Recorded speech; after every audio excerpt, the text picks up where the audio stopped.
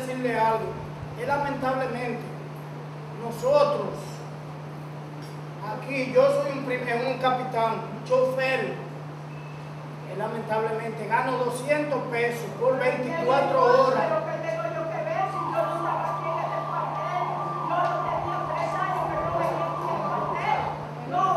6 mil pesos mensual. Es que iba a Pero no es a usted, normalita, ¿qué le está diciendo? No No es usted. por favor. ¿Qué está diciendo algo como bombero? nosotros como bomberos, chofer de la permanencia, 24 horas por 200 pesos. Yo tengo un motor que puedo ponchar de 6 de la mañana a 7 de la noche. No puede ser que yo no voy a hacer 200 pesos.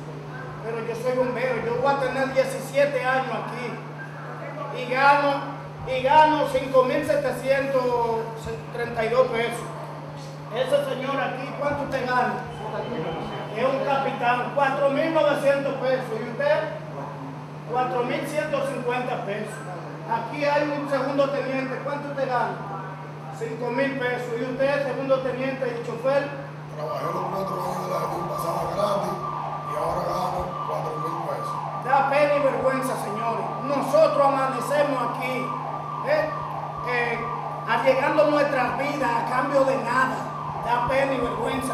Que van allá gente a cobrar que no son bomberos. Y que llaman por teléfono, ¿están pagando los bomberos? Oye, eso da pena y vergüenza y nosotros corriendo riesgo.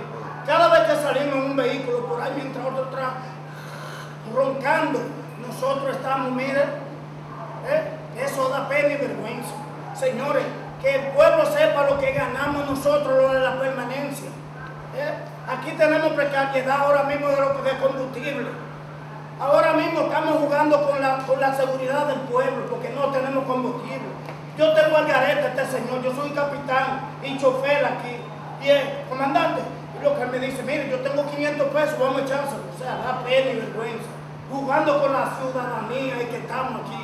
¿eh? Pero quiere, papá Dios, que no sean ningunas de la casa de lo que están jugando aquí con esto. De cuanto todo. Se haga justicia, que yo- Eh, un minuto, por favor. Un minuto, un minuto, por favor. Un minuto. Yo voy a ser breve. Eh, miren, esta situación, yo siempre he dicho, llamó un día al milenio caliente, que los bomberos no de ahora, yo estoy aquí desde los 6 años, tengo 31 años, y no soy el mejor bombero, pero tampoco soy el peor. Ahora nadie puede hacerme así. De que yo aquí nunca me llevo nada, ni nada, que tengo mi, mi temperamento. Entonces, ¿qué sucede? Aquí lo primero es que, ok, con buena fe convocaron una fiesta, pero aquí al intendente actual que hay ahora no le enviaron una comunicación. Ayer una persona dijo delante de mí aquí, ahí está la señora regidora de testigo, que nosotros lo que tenemos que estar sumisos. Sí, nosotros tenemos que estar sumisos a los reglamentos y a un intendente que hay aquí. Pero no es la forma que lo dijo, como que nosotros lo que tenemos es que estar callados.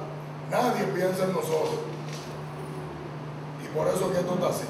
Nosotros nos hemos llevado del señor intendente y no, ustedes ven que después del problema que pasó, estamos tranquilos, pero nosotros no vamos a permitir que a los chiquitos, está rompiendo un hielo a que mañana yo, él, cualquiera, pueda aspirar. Porque ese es el problema, que aquí nunca va a llegar un bombero de abajo que sepa lo que tiene entre manos. No que un jefe que cuando llegue el fuego tenga un cabo que decirle lo que se va a hacer. Nosotros, a nosotros nadie viene y nos pregunta. Nosotros hay que oírnos también porque somos los que resolvemos. Y nosotros estamos tranquilos. Pero nosotros no vamos a permitir que se haga coca como andan diciendo en la calle. Y no de que quemaré de goma. Yo estoy aquí de los seis años. Trabajé con Tomás Ramos, aguantando abuso. Que aquí todo el mundo sabe lo que Tomás Ramos hizo. Parece que se le olvidó. Aquino entró muy bien y se dañó, llevándose de la misma gente Tomás Ramos. Y ahora nosotros no vamos a permitir. Fuimos humillados para que él llegue. Desde el primer momento, humillado, donde él fue responsable y le pidió permiso a Aquino para aspirar, donde Aquino dijo que él no iba. Y ahora también que llegamos, también es lo que, por lo que estamos pasando. No podemos. Yo estoy aquí desde los seis años y mi nombre lo han cogido en la calle. A mí nadie me puede hacer así. Trabajado en los bomberos de balde todo el tiempo.